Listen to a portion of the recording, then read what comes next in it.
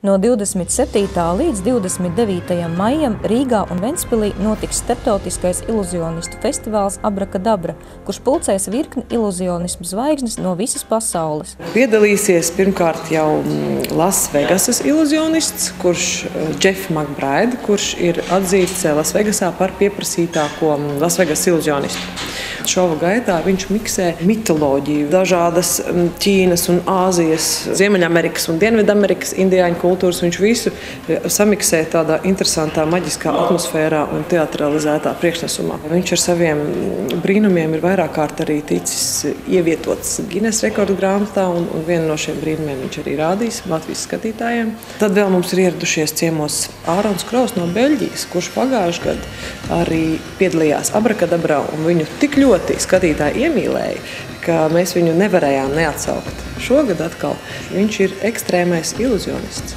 Tas nozīmē, viss, ko viņš dara, ir maģisks, bet ekstrēms. Un tiks iesaistīti arī skatītāji no publikas. Bet varat būt droši, viss beigsies labi. Lai arī cik bīstami vienā brīdī tas viss liksies. Ieradīsies arī mūsu ļoti labs draugs eh, Bastrakovs no Pērmas, no Krievijas. Viņš uzstāsies ar mm, ļoti interesantu tādu numuru, kurā ir apvienota eh, krievu folklora un maģija. Eh, pirmkārt, viņš ir augsts klases mākslinieks. Viņš ir Krievijā, Krievijas nopelniem bagātais mākslinieks, Sievo Ļubjat, Sievo Znājut. Viņš veiks trikus ar balalaikām, veiks trikus ar matrioškām. Būs jautri un, un zrieļišķina. Zrieļišķina būs. Tā sacīt jāsaka. Uzstāsies mūsu gods un lepnums Enrico Skolnieks Mantas no Lietuvas.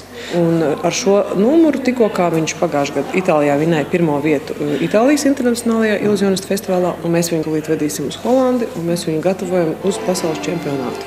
Esam uzaicinājuši ļoti teatralizētu, ļoti romantisku numuru Brando un Silvāna no Argentīnas. Viņi uzstāsies tādā ļoti teatralizētā vizuālā ainiņā, kur visa darbība notiks seno laiku Francijā. Šova laikā tiks izstāstīts kāds īpašs un skaists stāsts. Finālā būs ļoti skaista vizuāla transformācija. Īpaši festivālam sagatavotus jaunus burvju trikus ir sagatavojuši arī festivāla organizatori Dace un Enrico Pecoli. Mēs ne tikai vadīsim, mēs neteiksim, dāmas un kungi, tagad mums nākošais ir tas un tas. Paldies! Mēs pieteiksim, bet tas ir tikai punkts uz i. Tas i sastāvēs, tas, kas ir zem tā punktiņa, tas kātiņš sastāvēs no dažādiem jautriem trikiem un brīnumiem, kuros mēs iesaistīsim cilvēkus, lai šī pauzīte, mākslinieku, lielo mākslinieku gatavošanās pauzīte, viņiem paietu kā viens mirklis. Uf! Un ir jau nākošais mākslinieks. Šogad, pateicoties Rīgas domas un kultūra kapitāla fonda atbalstam, būs iespēja apmeklēt divus bezmaksas pasākumus – izstādi par iluzionismu attīstības vēsturi Rīgas cirkā un ārpus tā un semināru – starp zinātni un mistēriju, kas notiks kongresa namā 28. maijā 15.30.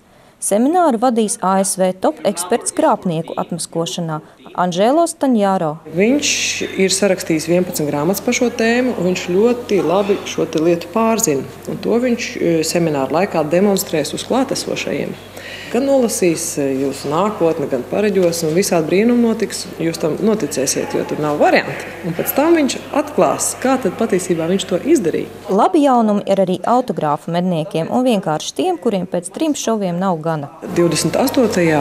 maijā, tad, kad šovs būs beidzies, viņš beigsies kaut kur ap 9 pēc 9. Visi, kam interesē pabūt vēl kopā ar māksliniekiem, var doties uz bāru restorānu Kid, Pulkveža brieža ielā, kur turpināsies eh, maģiskā lieliskās vakariņas ar zvaigznēm, un, un noteikti būs arī dažādi organizēti vai mazāk organizēti priekšnesumi un triku rādīšana. Startautiskais iluzionists šovs Abrakadabra ar Lasvegasas zvaigznēm ir ģimeņu pasākums. Tas nozīmē, ka aicināti ir kā mazi tā lieli, kā vecmāmiņas tā vectētiņi, jo triku programma būs interesanta dažādiem vecumiem. Un biļešu cenas ir sākot no 8 latiem, nav tik traki. Biļetes var iegādāties biļešu servises mm, visās viņu kasēs, kā arī statojos. Un labā ziņa, ka bērniem līdz 6 gadu vecumam biļetīte nav jāpērk, ja viņi neaizņem sēdvietu. Nu ko?